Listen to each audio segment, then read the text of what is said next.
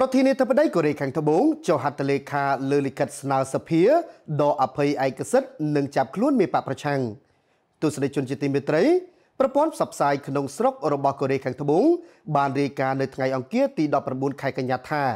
ប្រធានាធិបតីកូរ៉េខាងត្បូងលោកយុនសុកយុលបានចុះហត្ថលេខាលើសំណើសុំការយល់ព្រមពីសភា ដើម្បីចាប់ខ្លួនមេដឹកនាំបកប្រឆាំង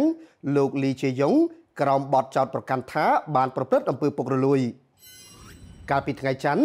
រដ្ឋអាជ្ញាកំពុងស្វែងរកនៃការចាប់ខ្លួនមេបកប្រឆាំងដ៏ធំនៅកូរ៉េខាងត្បូងគឺលោកលីជេយ៉ុងពីសំណាក់តុលាការភ្លាមភ្លាមបន្ទាប់ពីគាត់ត្រូវបានបញ្ជូនទៅកាន់មន្ទីរពេទ្យលោកត្រូវបញ្ជូនទៅសង្គ្រោះភ្លាមភ្លាមបន្ទាប់ពីប្រមាណថ្ងៃដែលលោកធ្វើកោតកម្មបង្អត់អាហារដើម្បីជាការប្រឆាំងនឹងគោលនយោបាយរបស់រដ្ឋាភិបាលក្រុងសេអ៊ូល